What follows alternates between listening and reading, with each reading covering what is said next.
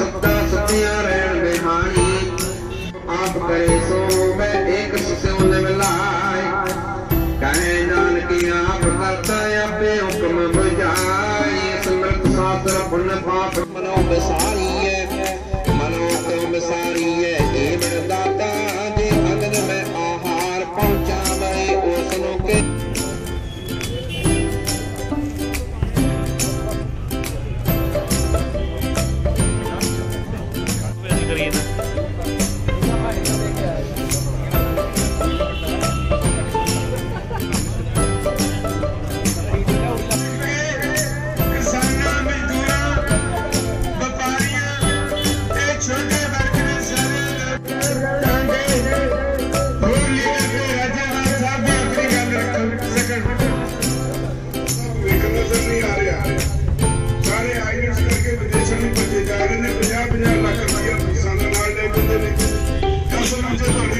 ਖੁਸ਼ੀ ਹੈ। ਜੋ ਮੇਰੀ ਤੁਹਾਡੀ ਸਾਰਿਆਂ ਨੂੰ ਬੇਨਤੀ ਹੈ। ਇਹ ਆਪਣੀ ਸਭ ਦੀ ਲੜਾਈ ਹੈ। ਹਲੋ ਜੀ ਲਓ ਲਓ। ਫੋਟੋ ਲੈਣੀ ਫੋਟੋ।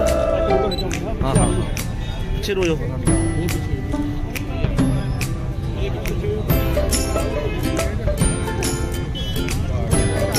ਸਾਹਮਣੇ ਦੇਖੋ ਜੀ ਸਾਹਮਣੇ।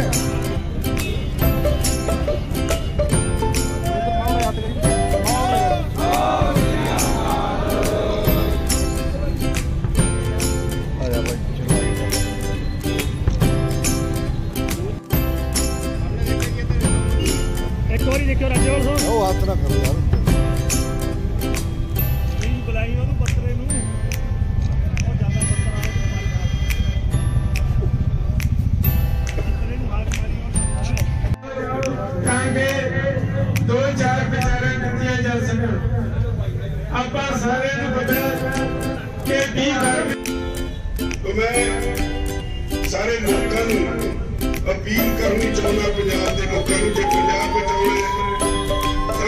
ਸਾਰਿਆਂ ਨੂੰ ਬਾਹਰ ਨਿਕਲਣਾ ਪਏਗਾ ਜਿਵੇਂ ਤੁਸੀਂ ਦਿੱਲੀ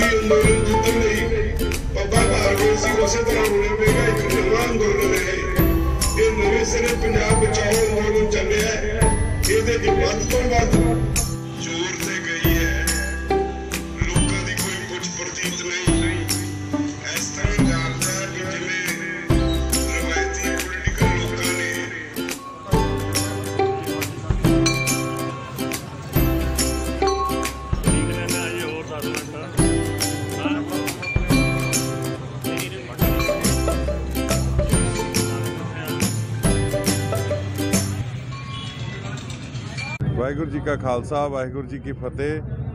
ਦਾਸ ਸੁਖਵੰਤ ਸਿੰਘ ਢਿੱਲੂ, ਸੰਯੁਕਤ ਮੋਰਚਾ ਖੰਨੇ ਤੋਂ ਕੈਂਡੀਡੇਟ ਸਾਡੀ ਪਾਰਟੀ ਦੇ ਜਿਹੜੇ ਪ੍ਰਧਾਨ ਨੇ ਸੰਯੁਕਤ ਮੋਰਚੇ ਦੇ ਸਰਦਾਰ ਬਲਬੀਰ ਸਿੰਘ ਜੀ ਰਾਜੇਵਾਲ ਸਾਹਿਬ, ਉਹਨਾਂ ਦੀ ਪ੍ਰੇਰਣਾ ਸਦਕਾ, ਉਹਨਾਂ ਦੀ ਸੋਚ ਤੇ ਉਹਨਾਂ ਦੇ ਜਿਹੜਾ ਹੈਗਾ ਸਾਰਾ ਸੰਘਰਸ਼ ਦੇ ਵਿੱਚ ਇੱਕ ਕਿੰਗ ਪਿੰਨ ਜਿਹੜੀ ਕਿ ਦੁਨੀਆ ਦੇ ਵਿੱਚ, ਵਰਲਡ ਦੇ ਵਿੱਚ ਸਾਡੇ ਜਿਹੜਾ ਸੰਜ- ਸੰਯੁਕਤ ਮੋਰਚਾ, ਉਹਨੂੰ ਦੁਨੀਆ ਵਰਲਡ ਦੇ ਵਿੱਚ ਪਹੁੰਚਾਤਾ। ਮਤਲਬ ਜਿਹੜੀ ਕੰਟਰੀ ਦੇ ਵਿੱਚ ਹਜੇ ਤੱਕ ਕਿਸੇ ਸਰਕਾਰ ਦਾ, ਹਿੰਦੁਸਤਾਨ ਦੀ ਦਾ ਕੋਈ ਪ੍ਰਧਾਨ ਮੰਤਰੀ ਨਹੀਂ ਪਹੁੰਚਿਆ, ਉਸ ਜਗ੍ਹਾ ਤੇ ਵੀ ਇੱਕ ਪੰਜਾਬ ਦਾ ਨਾਂ ਰੌਸ਼ਨ ਕੀਤਾ। ਦੁਨੀਆ 'ਚ ਤਾਂ ਹੋਇਆ ਹੀ ਹੋਇਆ। ਸੋ ਇਸ ਕਰਕੇ ਜਿਹੜਾ ਉਸ ਸੰਘਰਸ਼ ਦਾ ਸੀਗਾ 16 17 ਮਹੀਨਿਆਂ ਦੇ ਸੰਘਰਸ਼ ਦਾ, ਉਹਦੇ ਵਿੱਚੋਂ ਇੱਕ ਜਿਵੇਂ ਇੱਕ ਬੂਟਾ ਪੈਦਾ ਹੋਇਆ, ਉਹਦਾ ਜਨਮ ਜਿਹੜਾ ਹੋਇਆ, ਉਹ ਜਨਮ ਹੈ ਜਿਹੜਾ ਉਹ ਸਮਰਾਲੇ ਦੇ ਲੋਕਾਂ ਨੂੰ ਮੈਂ ਬੇਨਤੀ ਕਰਦਾ ਕਿ ਇਹ ਜਿਹੜਾ ਗੁਲਦਸਤਾ ਤੁਹਾਡੇ ਬੂਟਾ ਜਿਹੜਾ ਤੁਹਾਡੇ ਲੱਗ ਗਿਆ ਅੱਜ, ਤੁਹਾਡੇ ਹਲਕੇ ਦੇ ਵਿੱਚ, ਬਲਬੀਰ ਸਿੰਘ ਰਾਜੇਵਾਲ, ਤੁਸੀਂ ਸੋਚ ਵੀ ਨਹੀਂ ਸਕਦੇ ਕਿ ਤੁਹਾਨੂੰ ਕਿੰਨਾ, ਕਿੰਨੀ ਤੁਹਾਡੇ ਦਿਲਾਂ ਦੇ ਉੱਤੇ ਰਾਜ ਕਰਨ ਵਾਲਾ ਇੱਕ ਤੁਹਾਡਾ ਦੁਨੀਆ ਤੇ ਨਾਂ ਹੋਊਗਾ। ਜੇ ਕਿਤੇ ਤੁਸੀਂ ਮਾੜੀ ਜੀ ਗੱਲ ਦੀ ਕੋਈ ਗਲਤੀ ਕਰ ਬੈਠੇ ਜਾਂ ਅੱਖੋਂ ਪਰੋਖੇ ਕੋਈ ਗੱਲ ਕਰ ਬੈਠੇ ਤਾਂ ਤੁਹਾਨੂੰ ਉਹਦਾ ਰਹਿੰਦੀ ਦੁਨੀਆ ਤੱਕ ਆਪਦੇ ਬੱਚਿਆਂ ਦਾ, ਤੁਸੀਂ ਆਪਦੇ ਬੱਚਿਆਂ ਦਾ, ਆਪਦੇ ਪਰਿਵਾਰਾਂ ਦਾ ਇੱਕ ਬਹੁਤ ਵੱਡਾ ਭਵਿੱਖ ਆ ਜਿਹੜਾ ਉਹ ਖਰਾਬ ਕਰਕੇ ਜਾਓਗੇ।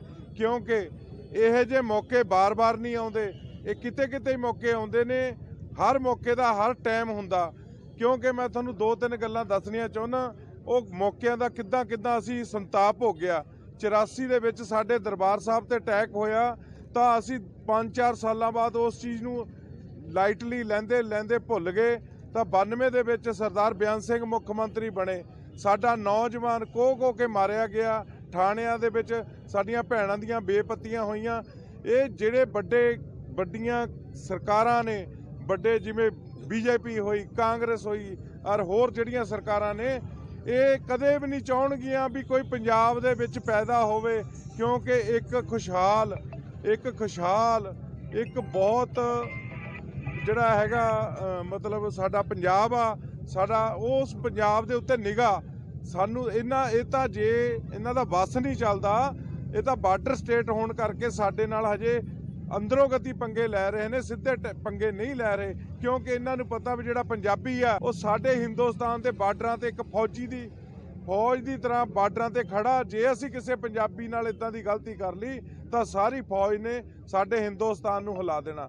ਸੋ ਇਸ ਕਰਕੇ ਸਾਡੇ ਜਿਹੜਾ ਇਸ ਸਮਰਾਲੇ ਹਲਕੇ ਤੋਂ ਕੈਂਡੀਡੇਟ ਨੇ ਬਲਬੀਰ ਸਿੰਘ ਰਾਜੇਵਾਲ ਸਾਹਿਬ, ਮੈਂ ਸਾਰੇ ਨੌਜਵਾਨਾਂ ਨੂੰ, ਸਾਰੇ ਬਜ਼ੁਰਗਾਂ ਨੂੰ, ਭੈਣਾਂ ਨੂੰ, ਜਿਨ੍ਹਾਂ ਨੇ ਸੰਘਰਸ਼ ਦੇ ਵਿੱਚ ਐਡੇ ਐਡੇ ਮੋٹے ਮੱਛਰਾਂ ਦੇ ਵਿੱਚ, ਠੰਡਾਂ ਦੇ ਵਿੱਚ, ਤਪਦੀਆਂ ਲੂਆਂ ਦੇ ਵਿੱਚ ਤੇ ਤੁਸੀਂ ਸਾਰਾ ਸੰਤਾਪ ਭੋਗਿਆ, ਉਹਦਾ ਤਾਂ ਫਾਇਦਾ ਜੇ ਅੱਜ ਆਪਾਂ ਰਾਜੇਵਾਲ ਸਾਹਿਬ ਨੂੰ ਤੇ ਸੰਯੁਕਤ ਮੋਰਚੇ ਨੂੰ ਪੰਜਾਬ ਦੇ ਵਿੱਚ ਇੱਕ ਵਧੀਆ ਸਰਕਾਰ ਬਣਾ ਕੇ, ਇਹ ਸਰਕਾਰ ਕਿਸੇ ਦੀ ਨਹੀਂ ਹੋਣੀ, ਇਹ ਸੰਯੁਕਤ ਮੋਰਚੇ ਦੀ ਸਰਕਾਰ ਆ, ਤੁਹਾਡੀ ਆਪਣੀ ਸਰਕਾਰ ਆ।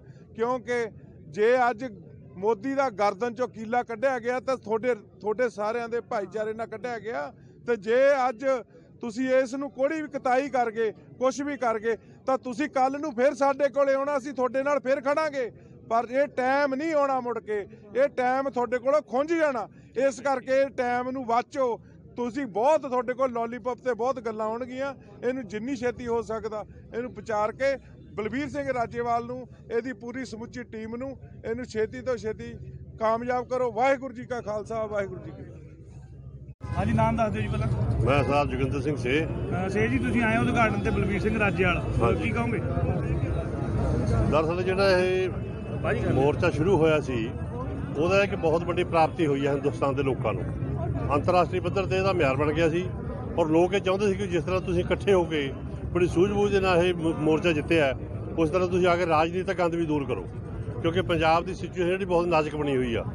ਪੰਜਾਬ ਦੇ ਜਿਹੜੇ ਸੋਮੇ ਨੇ ਲੁੱਟੇ ਜਾ ਰਹੇ ਨੇ, ਬੱਚੇ ਬਾਹਰ ਨੂੰ ਭੱਜ ਰਹੇ ਨੇ, ਖੇਤੀ ਫੇਲ ਹੋ ਰਹੀ ਹੈ, ਮਜ਼ਦੂਰ, ਦੁਕਾਨਦਾਰ ਸਭ ਦੁ- ਦੁਖੀ ਨੇ। ਕਰਪਸ਼ਨ ਦਾ ਬੋਲਬਾਲਾ ਬਹੁਤ ਜ਼ਿਆਦਾ ਦਫ਼ਤਰਾਂ ਦੇ ਵਿੱਚ। ਥਾਣੇ ਵਿਕਦੇ ਨੇ, ਕਚਹਿਰੀਆਂ ਵਿਕਦੀਆਂ, ਤਹਿਸੀਲਾਂ ਵਿਕਦੀਆਂ ਨੇ, ਹਰ ਚੀਜ਼ ਇੱਥੇ ਬਕਾਊ ਹੈ। ਜਿਹੜੇ ਸਾਡੇ ਕੁਦਰਤੀ ਸੋਮੇ ਨੇ ਆਮਦਨ ਦੇ, ਉਹ ਸਭ ਇਹ ਜਿਹੜੇ ਸਿਆਸੀ ਲੋਕ ਲੁੱਟ ਰਹੇ ਨੇ। ਇਹ ਕਰੋੜਾਂ ਰੁਪਏ ਕਮਾਉਂਦੇ ਨੇ 50 ਕਰੋੜ ਕਮਾਉਂਦੇ ਨੇ 4-5 ਕਰੋੜ ਖਰਚ ਕੇ ਇਲੈਕਸ਼ਨ ਜਿੱਤ ਲੈਂਦੇ ਨੇ, ਮੁੜ ਕੇ ਫੇਰ ਕਮਾਉਂਦੇ ਰਹਿੰਦੇ ਨੇ। ਇਹਦੇ ਵਿੱਚ ਜਿਹੜਾ ਆਮ ਲੋਕ ਨੇ, ਜਿਹੜੇ ਸਾਦਾ ਲੋਕ ਨੇ, ਜਿਹੜੇ ਇਮਾਨਦਾਰ ਲੋਕ ਨੇ, ਉਹ ਸਿਆਸਤ ਤੋਂ ਭੱਜਣ ਲੱਗ ਗਏ ਸੀ। ਇਹ ਸਾਰਾ ਮੋਰਚੇ ਦੇ ਜਿਹੜੇ ਸਾਡੇ ਸੀਗੇ ਦਾਅਵੇਦਾਰ, ਸਾਰਿਆਂ ਨੇ ਬੈਠ ਕੇ ਗੰਦ ਨੂੰ ਕਿਵੇਂ ਸਾਫ਼ ਕਰੀਏ? ਸਹੀ ਇੱਕ ਤਿੰਨੇ ਕਾਨੂੰਨ ਤਾਂ ਇੱਕ ਕੰਮ ਨਹੀਂ ਸੀਗਾ। ਪੰਜਾਬ 'ਚ ਹੋਰ ਵੀ ਮੁੱਦੇ ਨੇ ਨਸ਼ਾ ਵਾ ਪੜ੍ਹਾਈ ਨੂੰ ਲੈ ਕੇ ਬੱਚੇ ਬਾਹਰ ਜਾ ਰਹੇ ਨੇ ਕਰਪਸ਼ਨ ਬਹੁਤ ਜ਼ਿਆਦਾ ਵੱਧ ਚੁੱਕੀ ਹੈ। ਉਹਦੇ ਲਈ ਤੁਹਾਡੀ ਪਾਰਟੀ ਵੱਲੋਂ ਕੀ ਕੁਝ ਕੀਤਾ ਹੈ ਉਹ ਸਾਰਾ ਅਸੀਂ ਏਜੰਡੇ ਦੇ ਵਿੱਚ ਪਾ ਰਹੇ ਹਾਂ। ਸਾਡਾ ਮੈਨੀਫੈਸਟੋ ਦੋ ਤੇ ਤਿੰਨ ਦਿਨ ਦੇ ਵਿੱਚ ਆ ਜਾਊਗਾ। ਅਸੀਂ ਛੋਟੇ ਕਿਸਾਨਾਂ ਵਾਸਤੇ ਮਜ਼ਦੂਰਾਂ ਵਾਸਤੇ ਦੁਕਾਨਦਾਰਾਂ ਵਾਸਤੇ ਸਾਰਿਆਂ ਵਾਸਤੇ ਅਸੀਂ ਇਹ ਪਲਾਨ ਕੀਤਾ ਹੋਇਆ। ਨਸ਼ੇ ਲਈ ਕੀ ਹੈ ਤੁਹਾਡਾ? ਮੇਨ ਮਕਸਦ ਨਸ਼ਾ ਵਾ ਪੰਜਾਬ ਨੂੰ ਖਾ ਰਿਹਾ ਨਸ਼ਾ। ਨਸ਼ਾ ਦਾ ਜੀ ਜਿਹੜਾ ਹੋ ਰਿਹਾ ਸਾਰਾ ਸਰਕਾਰ ਦੀ ਸਰਪ੍ਰਸਤੀ ਹੇਠ ਹੋ ਰਿਹਾ ਇਹ ਆਪਾਂ ਨੂੰ ਪਤਾ ਹੈ।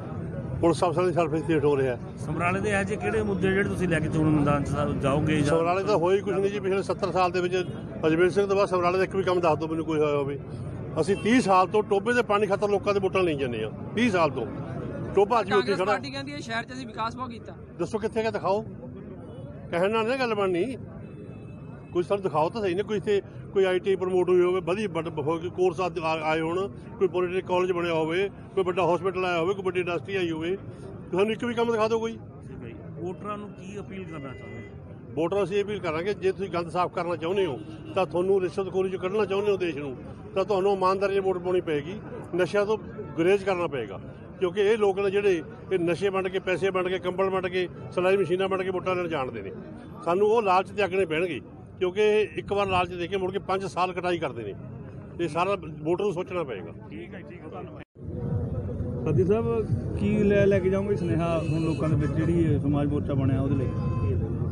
ਹਰ ਤਰ੍ਹਾਂ ਦਾ ਜਿਹੜਾ ਸਮਾਜ ਦੇ ਵਿੱਚ ਕੁਰਤੀਆਂ ਆਈਆਂ ਹੋਈਆਂ ਜਾਂ ਸਿਆਸਤ ਦੇ ਵਿੱਚ ਕੁਰਤੀਆਂ ਆਈਆਂ ਨੇ ਲੋਕਾਂ ਦੀਆਂ ਮੰਗਾਂ ਸੀਗੀਆਂ। ਲਗਾਤਾਰ ਉੱਥੇ ਜੇ ਸੰਘਰਸ਼ ਲੜਿਆ ਉੱਥੋਂ ਜਿੱਤ ਕੇ ਆਏ ਆ ਤਾਂ ਲੋਕਾਂ ਦੇ ਵਿੱਚ ਇੱਕ ਸਾਫ਼ ਸੁਥਰੀ ਜਿਹੜੀ ਸਿਆਸਤ ਨੂੰ ਲਿਆਉਣ ਵਾਸਤੇ ਜਾਂ ਲੋਕਾਂ ਦੇ ਜਿਹੜਾ ਮੰਗ ਸੀਗੀ ਵੀ ਇੱਕ ਸਾਫ਼ ਸੁਥਰੇ ਅਕਸ ਆਉਣ, ਕਿਉਂਕਿ ਸਿਆਸਤ ਦੇ ਵਿੱਚ ਬਹੁਤ ਫ਼ਰਕ ਪਿਆ ਹੋਇਆ, ਪੈਸੇ ਦੀ ਸਿਆਸਤ ਹੋਈ ਹੋਈ ਹੈ ਇੱਕ ਆਮ ਬੰਦਾ, ਜਿਵੇਂ ਹੁਣ ਤੁਹਾਡੇ ਸਾਹਮਣੇ ਤੁਸੀਂ ਕੁਐਸਚਨ ਕੀਤਾ ਸੀ ਵੀ ਤੁਹਾਡੀ ਰਜਿਸਟਰਡ ਨਹੀਂ ਹੋਈ ਪਾਰਟੀ ਜਾਂ ਰਜਿਸਟਰ ਹੋ ਰਹੀ ਹੈ ਜਾਂ ਚੋਣ ਨਿਸ਼ਾਨ ਆ। ਜੇ ਇਹ ਗੱਲਾਂ ਪਹਿਲਾਂ ਸਾਡੇ ਦਿਮਾਗ 'ਚ ਹੁੰਦੀਆਂ ਤਾਂ ਪਹਿਲਾਂ ਹੀ ਕਿਤੇ ਰਜਿਸਟਰ ਕਰਾਈ ਹੁੰਦੀ। ਪਰ ਖੜੇ ਪੈਰ ਜਦੋਂ ਉੱਥੋਂ ਜਿੱਤ ਕੇ ਆ ਗਏ ਤੇ ਉਸ ਟਾਈਮ ਜਦੋਂ ਸੋਚ ਬਣੀ ਆ, ਉਹ ਸੋਚ ਦੇ ਨਵਾ- ਨਵੀਕਰਨ ਕਰਨ ਦੇ ਤਰੀਕੇ ਲੋਕਾਂ 'ਚ ਵਿਚਰਦੇ ਆ। ਲੋਕਾਂ 'ਚ ਵਿਚਰ ਕੇ ਜਾ ਕੇ ਜਿਹੜੀਆਂ ਬੁਰਾਈਆਂ ਨੇ ਸਮਾਜ ਦੇ ਵਿੱਚ ਉਹਦੇ ਪ੍ਰਤੀ, ਨਸ਼ਿਆਂ ਪ੍ਰਤੀ, ਸਾਡੇ ਖੇਤੀ ਪ੍ਰਤੀ, ਜਿਹੜੀ ਦੁਕਾਨਦਾਰਾਂ ਦੇ ਹੁਣ ਇੱਥੇ ਛੋਟੇ ਵਪਾਰੀਆਂ ਦੇ ਉੱਤੇ ਜਿਹੜੀਆਂ ਅਲੱਗ-ਅਲੱਗ ਖਿੜਕੀਆਂ ਲੱਗੀਆਂ ਹੁੰਦੀਆਂ ਵਨ ਵਨ ਵਿੰਡੋ ਸਿਸਟਮ ਜਿਹੜਾ ਹੋਣਾ ਚਾਹੀਦਾ, ਬੜੀ ਦੇਰ ਦੀ ਮੰਗ ਆ। ਹਰ ਵਪਾਰੀ ਦੀ ਵੀ ਖੋ- ਛੋਟਾ ਜਿਹਾ ਕਾਰੋਬਾਰ ਵੀ ਕਰਨਾ ਨੂੰ 41 ਮਹਿਕਮੇ ਪੈ ਜਾਂਦੇ ਨੇ।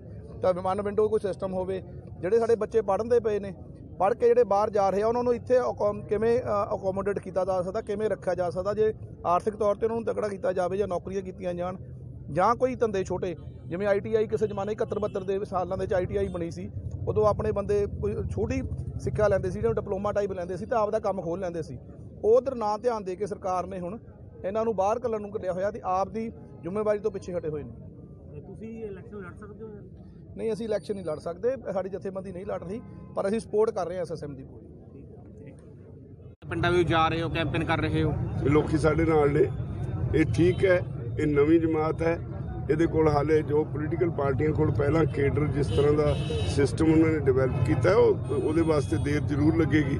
ਪਰ ਲੋਕਾਂ ਦੀ ਹਮਦਰਦੀ ਸਾਡੇ ਨਾਲ ਹੈ, ਉਹਨਾਂ ਦੇ ਨਾਲ ਨਹੀਂ। ਇਸ ਕਰਕੇ ਜਿੱਥੇ ਵੀ ਜਾਂਦੇ ਆ ਉੱਥੇ ਲੋਕ ਭਰਪੂਰ ਹੁੰਗਾਰਾ ਦਿੰਦੇ ਨੇ ਔਰ ਅਸੀਂ ਬਹੁਤ ਵੱਡੀ ਲੀਡ ਨਾਲ ਇਹ ਸੀਟ ਜਿੱਤਾਂਗੇ। ਤਾਂ ਇਹ 117 ਸੀਟਾਂ ਦੇ ਜਿਵੇਂ ਤੁਹਾਡੀ ਪਾਰਟੀ ਲੜ ਰਹੀ ਹੈ ਹਾਲ ਤੱਕ ਚੋਣ ਨਿਸ਼ਾਨ ਨਹੀਂ ਆਇਆ। ਇਹੀ ਤੋਂ ਰਾਜਨੀਤਿਕ ਪਾਰਟੀ ਇਹੀ ਨਿਸ਼ਾਨਾ ਲਗਾ ਰਹੀ ਹੈ ਕਿ ਹਾਲ ਤਾਂ ਇਹਨਾਂ ਕੋਲ ਚੋਣ ਨਿਸ਼ਾਨ ਨਹੀਂ ਆਇਆ ਤੇ ਕੈਂਪੇਨ ਸ਼ੁਰੂ ਦੇਖੋ ਚੋਣ ਨਿਸ਼ਾਨ ਤੋਂ ਬਿਨਾ ਕਦੀ ਚੋਣ ਹੋਈ ਹੈ।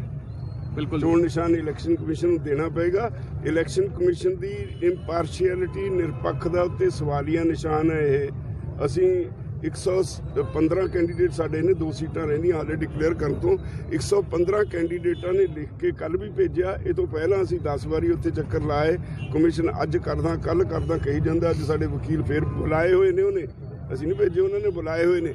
ਬੁਖਲਾਹਟ ਦਾ ਕਾਰਨ ਵੀ ਹੋ ਸਕਦਾ ਜੀ ਇਹ ਜਿਹੜਾ ਜਿਹੜੀਆਂ। ਜਿਹੜੀਆਂ ਪੋਲੀਟੀਕਲ ਪਾਰਟੀਆਂ ਰਵਾਇਤੀ ਨੇ ਉਹਨਾਂ 'ਚ ਘਬਰਾਹਟ ਹੈ। ਉਹਨਾਂ ਨੇ ਉੱਥੇ ਆਪਣੇ ਵਕੀਲ ਬਿਠਾਏ ਹੋਏ ਆ ਸਾਨੂੰ ਇਸ ਇਹਨੂੰ ਅਪੋਜ਼ ਕਰਨ ਲਈ ਕਦੇ ਕੋਈ ਨਿਸ਼ਾਨ ਮਿਲਦਾ ਕਹਿੰਦੇ ਨਹੀਂ ਜੀ ਇਹ ਨਹੀਂ ਜੀ।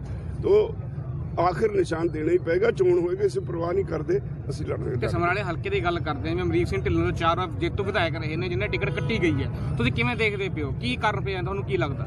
ਇਹ ਉਹਨਾਂ ਦੀ ਪਾਰਟੀ ਦਾ ਮਸਲਾ ਹੈ, 'ਚ ਮੈਂ ਕੁਝ ਤੇ ਜਿਵੇਂ ਆਪਾਂ ਚੋਣ ਪ੍ਰਚਾਰ ਕਰਾਂਗੇ ਤਾਂ ਦੱਸਾਂਗੇ ਵੀ ਕਿਸ ਤਰੀਕੇ ਨਾਲ। ਨਹੀਂ ਅਸੀਂ ਤਾਂ ਉਹਦੀ ਜੋ ਕਾਰਗੁਜ਼ਾਰੀ ਉਹ ਤੇ ਗੱਲ ਕਰਾਂਗੇ ਆਪਣਾ ਪ੍ਰੋਗਰਾਮ ਕਿਵੇਂ ਤੁਹਾਨੂੰ। ਕਾਰਗੁਜ਼ਾਰੀ ਕਿਵੇਂ ਲੱਗਦੀ? ਅਸੀਂ- ਅਸੀਂ ਕਿਸੇ ਦੇ ਉੱਤੇ ਚਿੱਕੜ ਨਹੀਂ ਸਟਾਂਗੇ। ਤੇ ਕਾਰਗੁਜ਼ਾਰੀ ਹਿਸਾਬ ਨਾਲ ਜੀ। ਕਾਰਗੁਜ਼ਾਰੀ ਲੋਕਾਂ ਦੇ ਸਾਹਮਣੇ ਆ 20 ਸਾਲ ਐਮਐਲਏ ਰਿਹਾ ਇੱਕ ਵੀ ਅਸੈਂਬਲੀ ਕੁਐਸਚਨ ਨਹੀਂ ਕੀ ਸਮਰਾਲੇ ਦੀ ਕੋਈ ਸਮੱਸਿਆ ਨਹੀਂ ਸੀ?